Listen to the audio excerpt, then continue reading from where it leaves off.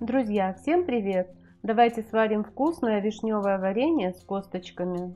Варить варенье мы будем в собственном соку, и для этого нужно, чтобы вишня пустила сок. На дно варочной посуды высыпаем немножко сахара и выкладываем часть вишни. Затем снова сахар и вишня. Таким образом выкладываем всю вишню и весь сахар. В составе ингредиентов указано два значения сахара если вишня кисловатая, берите побольше. Если сладкая, то поменьше.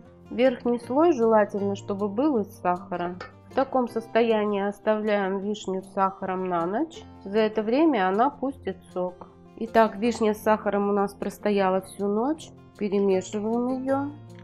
Стараемся при этом минимально травмировать ягоду. Как можно видеть, вишня выделила небольшое количество сока и весь сахар у нас увлажнился. Вишню с сахаром ставим на самый маленький огонь и часто перемещаем ягоду для того, чтобы выделилось побольше сока. Таким образом нам нужно растопить весь сахар. Стараемся минимально травмировать ягоды. Для этого просто их приподнимаем и опускаем. Пока растапливаем сахар, часто помешиваем, чтобы сахар не горел на дне. После того, как сока появится достаточно много, можно прибавить огонь, чтобы побыстрее довести варенье до кипения. После закипания выкладываем 2 палочки корицы и варим ровно 5 минут. Пенку пока не снимаем. Чтобы не травмировать ягоды, поменьше их перемешивать, просто отодвигать от стеночки, чтобы они прогрелись равномерно. Кипение не должно быть сильным, ну такое слабо умеренное. Через 5 минут выключаем газ и убираем варенье с горелки. Таким образом остужаем его в течение 5 часов и будем делать вторую варку. После того, как варенье полностью остынет, ставим его на огонь вторично. Точно так же купаем ягодки Сильно не перемешиваем, чтобы их не повредить. После того, как варенье закипит, варим его снова 5 минут. Пену пока не снимаем. Ягодки также отодвигаем от края, чтобы они прогрелись равномерно.